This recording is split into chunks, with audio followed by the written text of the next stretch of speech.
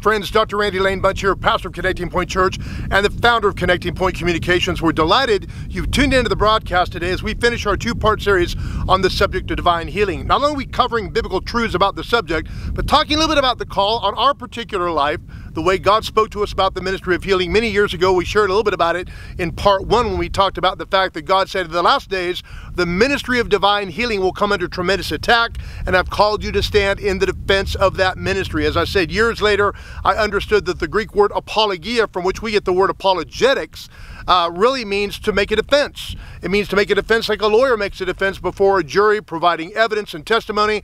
And I began to realize, even as a young man, before I understood all of that, that every time I teach on the subject of healing, I would be making a defense for the subject, for the truth of God's word on the subject of healing before whomever I was speaking. And today we're going to talk a little bit about the second supernatural encounter God gave me in regard to the ministry of divine healing. But before we get into that, don't forget, go to the website randylanebunch.org. Under the media link, you're going to find all of our resources, our magazine, blog, podcast, past editions of this television broadcast on our YouTube channel, which you'll find there as well. And please subscribe, like, and comment when you go there. That would be a great help to us.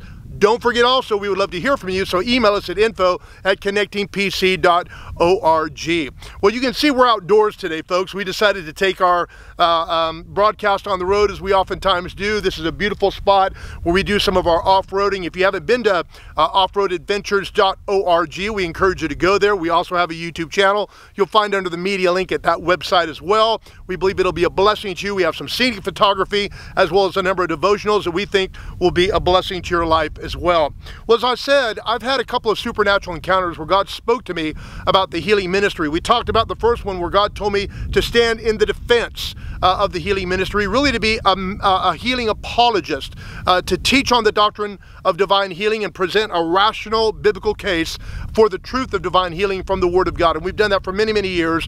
And of course, we've seen God uh, confirm His Word by healing many people as they've heard, responded in faith to the message of the gospel, particularly when it comes to broadcasts like this, our Skype crusades in days gone by. But even as we traveled in the field and pastored, we've seen many people have a healing touch from heaven uh, as we've ministered. I, I think back now, you know, when I was a pastor in New England, but actually ministering at a friend's church in Connecticut, I pastored in Vermont, but I had a friend in Connecticut call me and say, Randy, the Lord spoke to me about having you come and preach at our church. And he said, I want you to do a week long series of meetings. And I said, It sounds good to me. And so on the Sunday, as we began that week long series of meetings, Sunday through Friday, I was ministering in the morning service, uh, just preaching the Word of God. And at the end, I invited people to respond and began laying hands on the sick. And I'll never forget, uh, there was a particular woman, I don't even remember laying hands on her, there were so many people up front. But as I laid hands on her, the power of God touched her. She fell under the power.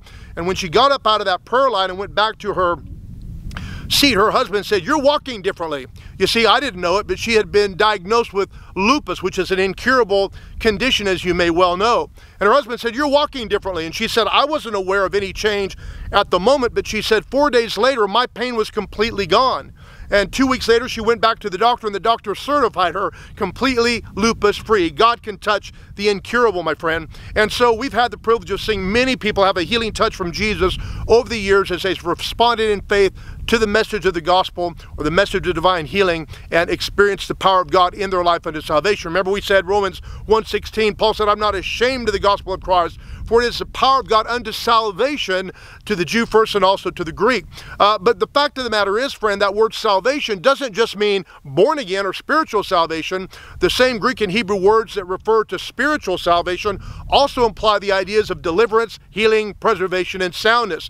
And in fact, the Greek word sozo, which is translated saved oftentimes, such as in Romans 10, 9 and 10, that if you confess with your mouth the Lord Jesus and believe in your heart God raised from the dead, you'll be saved, is also used again and again throughout the New Testament for the, for the subject of healing. Uh, we talked about the woman healed of the issue of blood in Mark chapter 5, how after she touched the hem of Jesus' garment, she felt power go into her off of him. He felt the power go out of him, and he said, Who touched my clothes?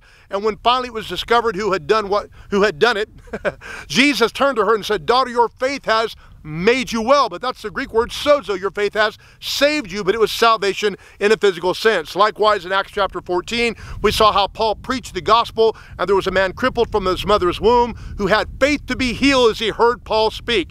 Paul saw that he had faith, encouraged him to act on his faith by saying, Stand up straight on your feet. And the man leaped and walked and was healed. We say, Isn't it wonderful how Paul healed that crippled man? But actually, Paul didn't heal anybody. He preached the gospel. The man heard, had faith to be healed, and he responded. And as we said, if the man had faith to be healed, hearing Paul, Paul had to be preaching a healing gospel. And that's what we're ministering to you today, the healing gospel. But today I want to talk to you kind of about part two of God's experience with me, his sharing with me about the subject of divine healing and the impact it would play in my life and ministry. And I think you're going to find it relevant to you as well.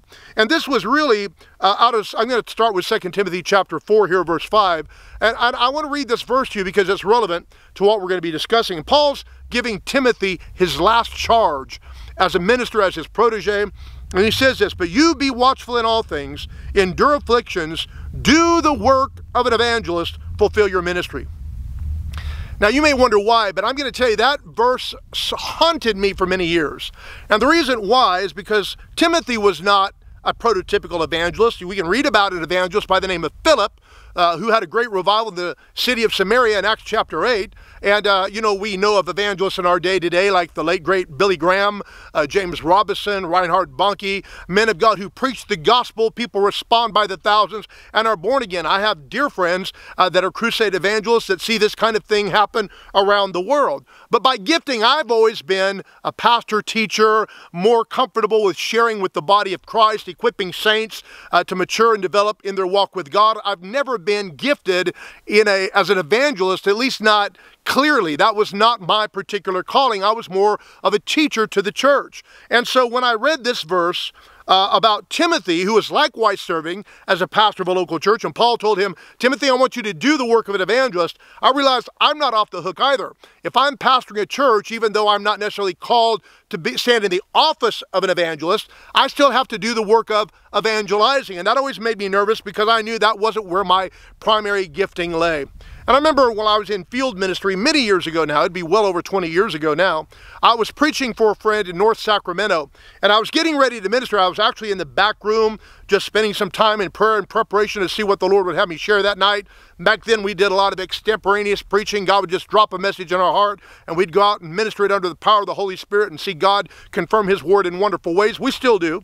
Uh, but back then, we did a lot of extemporaneous preaching. We didn't necessarily know what we were going to preach until we got in the pulpit, and the Spirit of God would spark a thought, an idea, a scripture, and there we would go.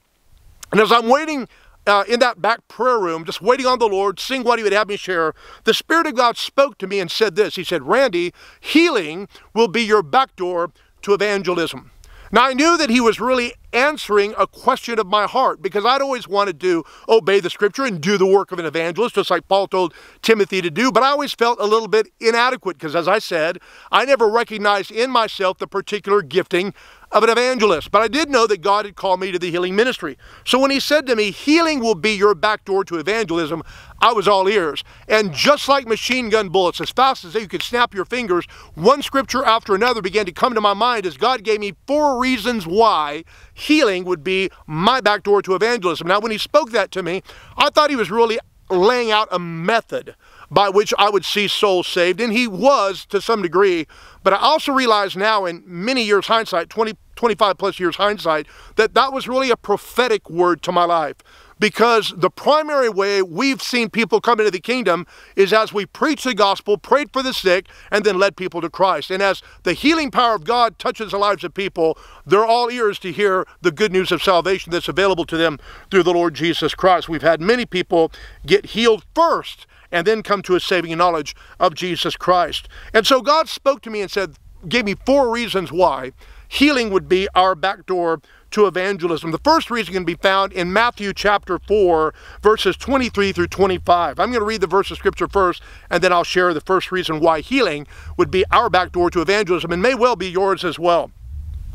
Here it says, And Jesus went about all Galilee, teaching in their synagogues, preaching the gospel of the kingdom, and healing all kinds of sickness and all kinds of disease among the people. That his fame went throughout all Syria, and he, they brought to him all sick people who were afflicted with various diseases and torments, and those who were demon possessed, epileptics, and paralytics, and he healed them. Great multitudes followed him from Galilee from Galilee, from Decapolis, Jerusalem, Judea, and beyond the Jordan. So Jesus is cutting a swath through Jerusalem and through the surrounding countryside. It says the Decapolis. That's the five small cities surrounding Jerusalem at that time. Jesus is ministering to the multitudes. But why did the multitudes follow him? Among other reasons, because he was healing their sick. Uh, Raymond T. Richey, uh, a great healing evangelist of the early 1900s and even latter 1800s, said, Healing is the dinner bell. Uh, whenever you preach on healing, folk will come running. And I found that to be true. See, Jesus is still a healer. Again, Hebrews 13 8 says Jesus Christ is the same yesterday, today, and forever. And if he was ever a healer, he's still a healer. He's just continuing his work through the church as that same anointing of the Holy Spirit and power that equipped him to heal the sick is available to us today, as well as gifts of healings. And so, as we preach the gospel and trust God, he'll confirm his word and heal the sick. And, and I have found that as we've ministered the subject on divine healing, it's also a great way of stirring people's interest in the message of the gospel. You know, there's not a single person listening to me right now that hasn't either been directly impacted or have had a loved one or friend impacted by sickness and disease. Because sin is universal, sickness and disease is universal. Um, Alexander, uh, John Alexander Dowie, the late great healing evangelist of the um, early part of the 20th century, said sickness is the foul offspring of its mother sin and its father Satan. That's a way of saying that sickness and disease piggybacked into the human experience through sin. Not, we're not talking about the individual sin, we're talking about original sin. And because sickness and disease came to the human experience through sin, answer is redemption. But because Jesus ministered to the sick, it got people's attention. And as he began to heal the sick, all of a sudden great crowds began to follow him. Over the years, we've seen so many people have an interest in the gospel and in our program, particularly, especially as we're talking about, you know, on the foreign field through our television broadcast. We've had so many people come to faith as they received a healing touch from heaven. So the first reason why healing would be our backdoor to evangelism is because it touches, it addresses a universal need. We see that in the ministry of Jesus. That's why the multitudes followed him. And I'm telling you, there's still that universal need in the hearts of people that are desirous to see a healing touch from heaven. And I can tell you testimony after testimony of people who've heard us preach the Word of God, especially as we've shared on the subject of healing, and then not only responded and were healed, but also came to a saving knowledge of Jesus Christ. The second reason why God spoke to me and said healing would be our back door to evangelism is that healing is a demonstration of the Lord's compassion. In Matthew 14 14, we read this And when Jesus went out, he saw a great multitude, and he was moved with compassion for them and healed their sick. Why did Jesus heal their sick? Because he was moved with compassion. Friend, it's hard to be around sick people and not be moved with compassion. Think about it. If you had a young child that was ill and needed medical attention or needed to be healed, wouldn't your heart be moved to see, uh, wouldn't you, in fact, wouldn't you move heaven and earth to see to it that they were healed, that they got the best medical attention? Oh, well, certainly you would. And God is our Father. He is our Creator, and God wants people well. And so Jesus was moved with compassion. I love something that Howard Carter, he was a, a great teacher on the gifts of the Holy Spirit in the, in the 20th century. And Howard Carter made an observation along this line. He said, In the Old Testament, we see more miracles than we do healings. He said in the New Testament that that's reversed. We see more healing than we do miracles. He said the reason why that is is in the Old Testament God's demonstrating his power, thus miracles. In the New Testament, God's demonstrating his compassion, thus healing. The Bible said the Lord was moved with compassion and healed their sick. Let me ask you this. Do you think God is still a God of compassion today?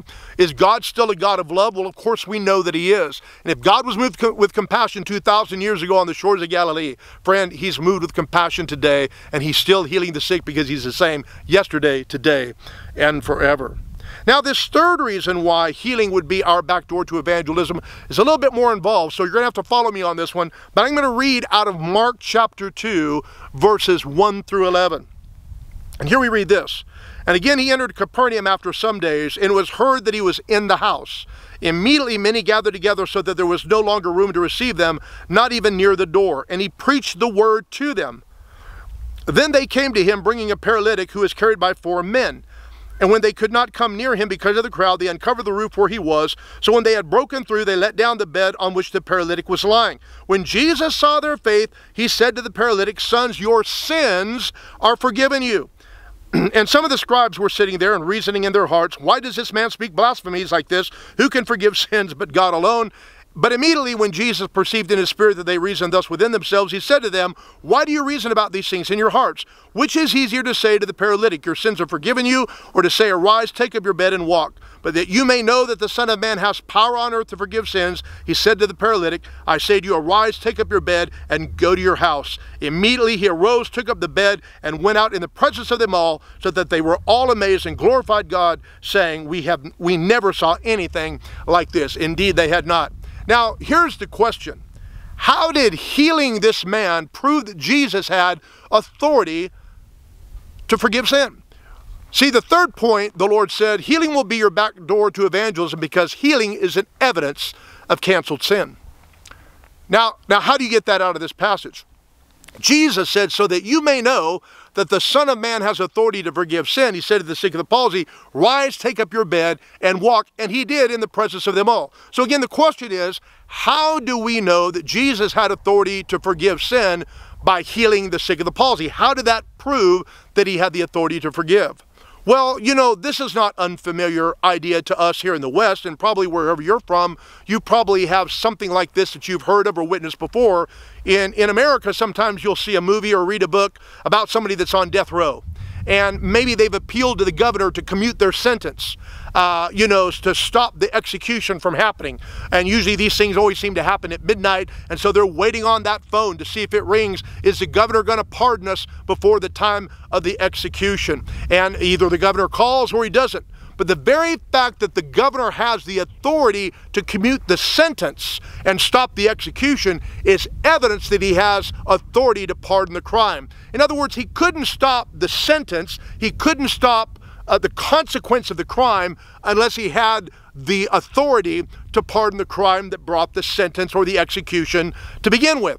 And so we see the same thing. In the Jewish mind, Sickness and disease was the result of sin. Indeed, it is original sin. But in the Jewish mind, oftentimes sin was associated, or sickness was associated with the sin of the individual. You might even remember in John chapter 9, the disciples asked Jesus kind of a crazy question. They said, Who sinned, this man or his parents, that he was born blind?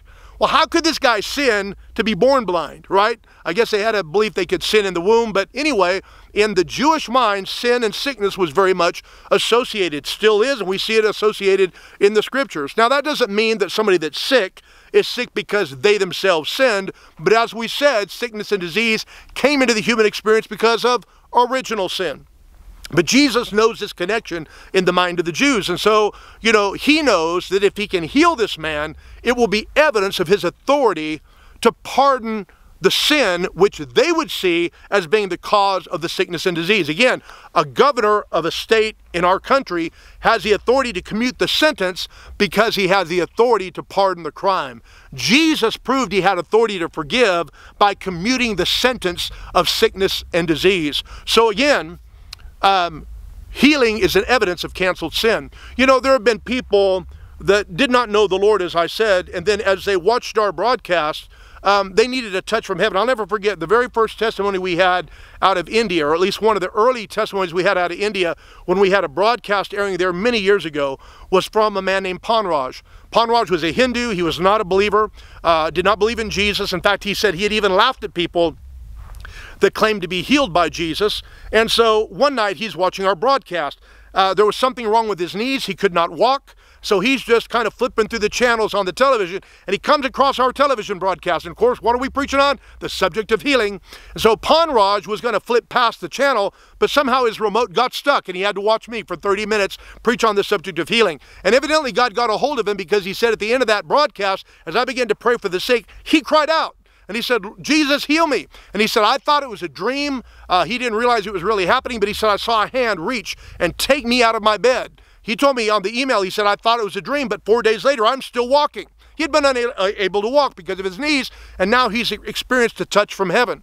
Now, what do you think that does for a man who's not in relationship with God, maybe doesn't know whether God would receive him or not because he's not a Christian? He's mocked people that have believed in healing in Jesus and so forth. But now suddenly he sees a demonstration of the Lord's compassion. What does that say to him? Well, if God's willing to heal me, he must be willing to forgive me. I must be uh, uh acceptable to God if he's willing to demonstrate his compassion toward me me by healing my sickness. It must mean he's willing to pardon my sin. You know, James says something similar in James 5 14 and 15. He said, Is there any sick among you?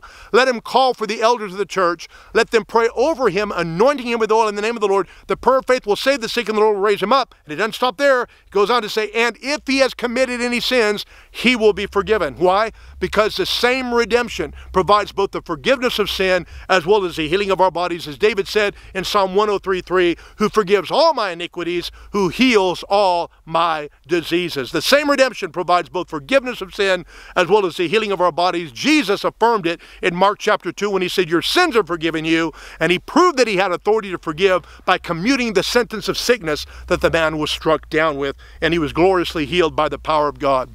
The fourth and final reason why the Lord said to me that healing would be your backdoor to evangelism is because healing is a confirmation of the gospel. I'm sure we're all familiar with Mark 16, but let me read it to you beginning with verse 15 says, And he said to them, Go into all the world and preach the gospel to every creature.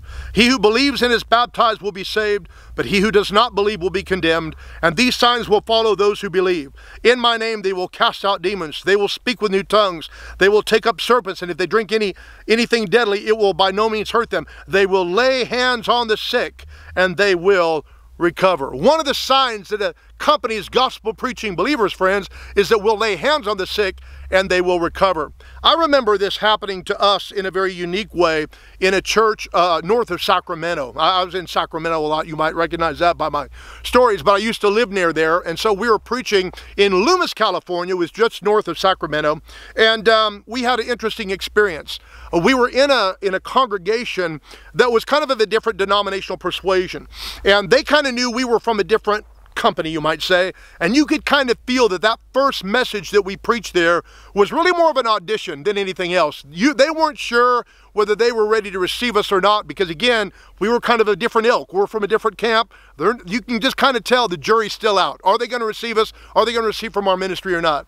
As we came to the end of that time of ministry, preaching the Word of God, suddenly the Lord gave me a word of knowledge. And I said, there's someone here that God wants to heal that has TMJ, tubular meningitis. And when I called that out, the whole congregation began to applaud. And I thought, why are they happy that someone has TMJ? I didn't know it, but there was a woman in that congregation. In fact, earlier in the service, she had sung a beautiful spiritual song, Anointed of the Holy Spirit.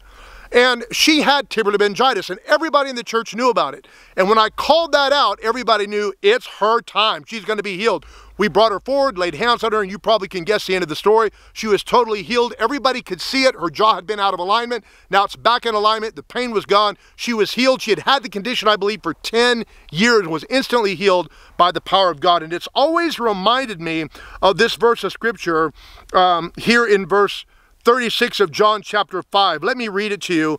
Jesus said, But I have greater witness than John's, for the works which the Father has given me to finish, the very works that I do bear witness of me that the Father has sent me. You see, friend, John the Baptist had testified of Jesus and said, This is the Lamb of God who takes away the sin of the world. And the people loved John, and so to some degree they would have listened to John and his commendation of Jesus.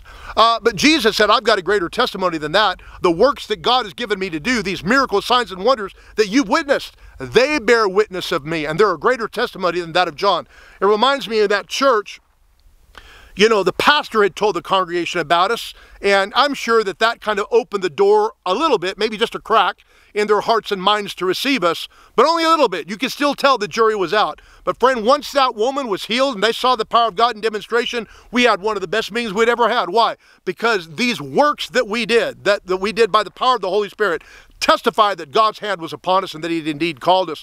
And I found that the the, the work of God, the supernatural power of God, not only confirms the message, but the messenger. You see, friends, to some degree, they've not only got to believe the message you preach, but they've got to believe that you're called and anointed of God. And when they begin to see that, when they see the hand of the Lord upon you, they'll begin to receive more readily from your ministry. So, friend, again, why is healing the back door to evangelism? Number one, because it addresses a universal need. Number two, it's a demonstration of the Lord's compassion. Number three, it's an evidence of canceled sin. And number four, it's a sign that confirms the message the gospel, demonstrates the reality of it, the credibility of it, that God is the author of it, and that he confirms his word with signs following. Friend, do you know Jesus? Have you accepted him as your Lord and Savior? He'll be your Savior and your healer tonight if you'll receive of him. Why don't you just pray this simple prayer? If you've never called on the name of the Lord, just say, Jesus, I'm a sinner. I can't save myself. But Jesus, you love me. Come into my heart. Be my Lord and Savior. I commit my heart to you. I put my faith in you, Jesus. Be my Lord. Be my Savior. Amen. Friend, if you prayed that prayer, I'd love to hear from you. Would you email me at info at connectingpc.org? I'd love to share with you, you know, stand in faith with you. And don't forget, go to the website, randylanebunch.org. Under that media link, we have literally hundreds of hours of resources that'll continue to speak to your life and build your faith in the things of God. But before we go today, as always, we want to pray for you and believe God for a healing touch from heaven for you to experience that right here and right now. Father, I pray for my friends watching this broadcast today. We thank you, Lord God, that you are indeed the God of heaven and earth. You created the sea, all that's in it. Father God, every living thing, the universe, the starry hosts. Father God, you created it all. You created us. You made us, Father. You know the blueprint. You're the manufacturer, and you can fix what's broken. We ask you, Father, to extend your healing hand to those watching the broadcast today that need a healing touch from heaven. Thank you, Father, for chronic conditions. Somebody you've got like a scoliosis kind of thing in your back. Your back is being straightened right now. We thank you, Father God, for healing blind eyes and correcting vision. We thank you, Father, for opening the ears of the deaf. We thank you, Father, for demonstrating your power to those watching right now whose hearts are open to receive from heaven that healing touch. Extend your healing hand, we pray, in the name of your holy servant Jesus, Father God. Confirm your word, we pray. We thank you for it, Father God. We believe you for doing it in the name of Jesus. Father, we pray for pastors, Father God, who need to see a harvest of souls. We pray that, Father God, you would anoint them by your mighty Holy Spirit, that as they preach the Word of God, they'd begin to experience the Word, the Word of God being confirmed by your healing miracles, Father God, following them as they preach the Word of God everywhere they go. We pray, Father God, in nations like India and Pakistan, Father God, Iran, Iraq, in China. We pray, Father God, that miracles would be done in these difficult places in the world where Christianity is suffering such persecution. In Afghanistan, we pray, Father God, Lord God, that you would continue to bring great revival, Father God, all over the world. We thank you, Lord God, for touching people as they listen to the broadcast now. We thank you, God, for ministering not only to their bodies, but their souls. We thank you for a spirit of encouragement and boldness to come upon them, Father God, that they would fulfill your will for their lives and complete what you've called them to do. We give you thanks and praise for it, Father God. In Jesus' mighty name, Amen. Well, friends, you can see we're running out of light out here, and so we're going to conclude the broadcast, but don't forget, go to the website, randylanebunch.org. Again, under that media link, you're going to find a host of resources. You're going to find our magazine, our blog, our podcast, our YouTube channel. We have an audio healing school right there. Just so many resources, again, that you can just listen to, watch, or read hour after hour after hour. We also have a link there on apologetics. Lots of resources that you can go to um, that'll direct you to books, videos, audios, so much right there on that website, randylanebunch.org. Well, friends, we love you. Thank you for tuning into the broadcast today, and we'll see you next time on Connecting Point.